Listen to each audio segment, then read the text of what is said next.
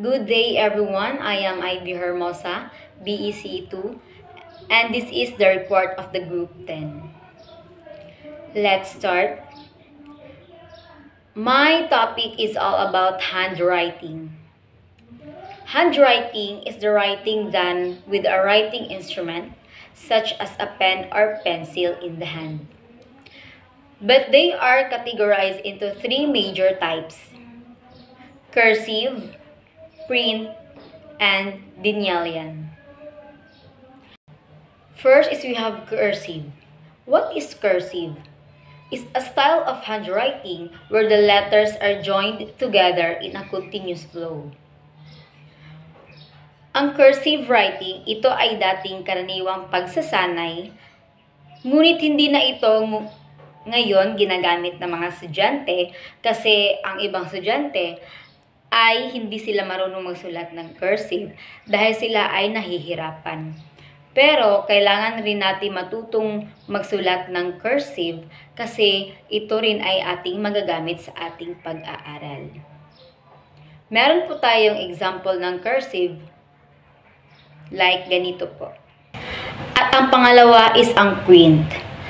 What is a print? A handwriting style where letter appear to be disconnect. Ang print handwriting, maaring din itong tawaging mga black letter, print script, o manuscript. Ang mga sa, ang mga estilong sulat kamay na ito ay kadalasang ginagamit sa pagsulat sa mga official forms because ang cursive style ay mas mahirap po ito.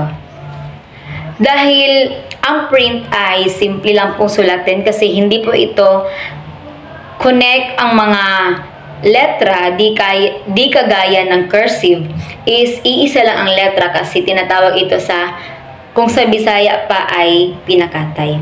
Kailangan rin natin matutong magsulat ng cursive or print para din matuto tayong sumulat kung ano ang dapat nating susulat sa ating pag-aaral.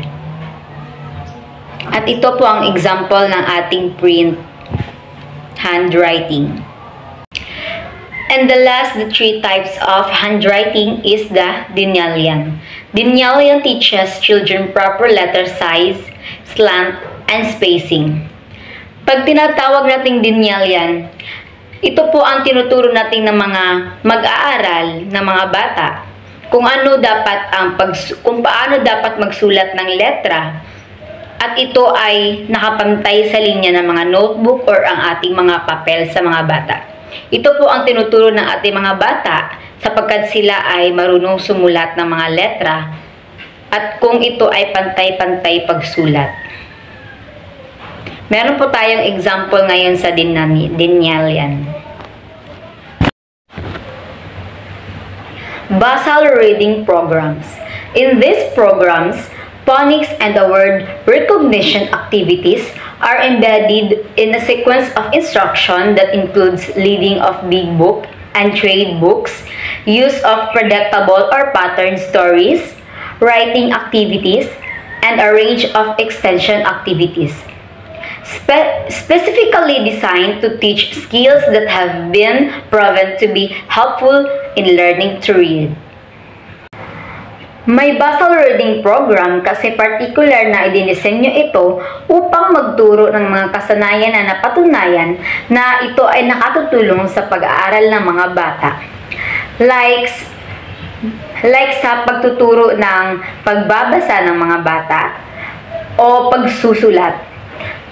Ang basal reading program is ito ay more reading, more writing, and more word.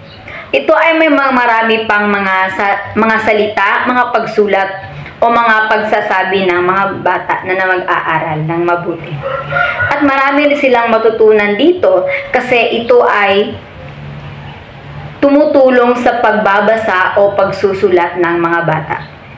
Supplement and program. The teacher completely blushing and vertical words decodation. Supplement and program that extend interaction along with the instruction in their regular and basic lesson reading programs.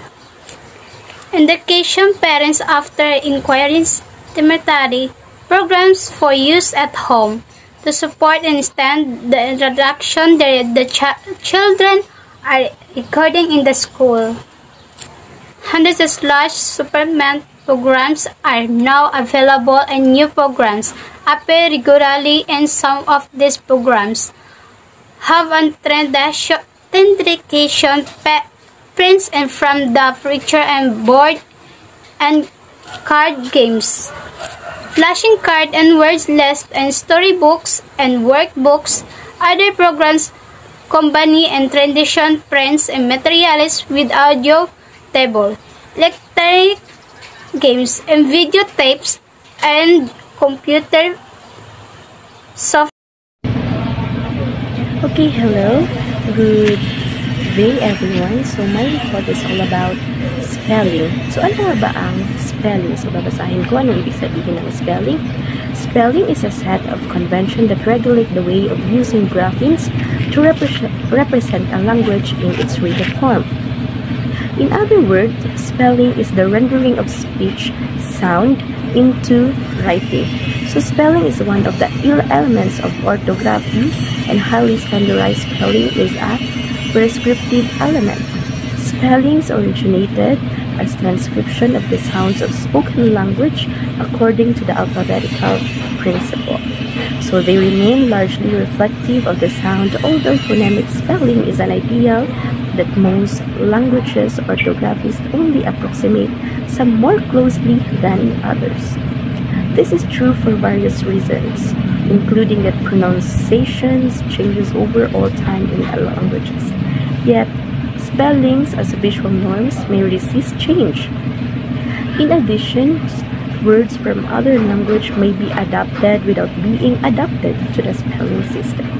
And different meanings of a word or homophones may be deliberately spelled in different ways to differentiate them usually.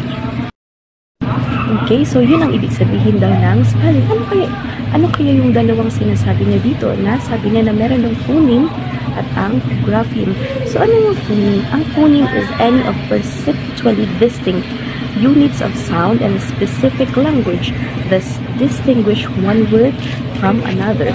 So ito yung mga sinasabi ng mga teachers na okay, sige, spell the word and the grapheme means the smallest meaningful contrastive unit in a writing system. Ito na yung time na yung mga bata na ang nagsusulat. Nasa sinasabi ni teacher, okay, spell the word dog. So the dog, that's the meaning. Yung sinasabi niya is yun yung phoneme. Mga sinasabi, mga sinasalita ng teacher. So ang grapheme, ito na yung time na sinasabi or sinusulat na yung mga bata yung sinasabi ng ating teacher. So, ang sa spelling, hindi talaga to siya nawawala sa school, especially sa mga elementary kasi this is one of the needs talaga ng mga bata na makaka-learn sila na, oh, okay, kaya ko pala spell ang dog from the sound dog. Okay, d, o, g. So, yung mga ganyan na mga bagay. At sa report na to, yan lang po yung ma-share ko about sa spelling and thank you and God bless everyone.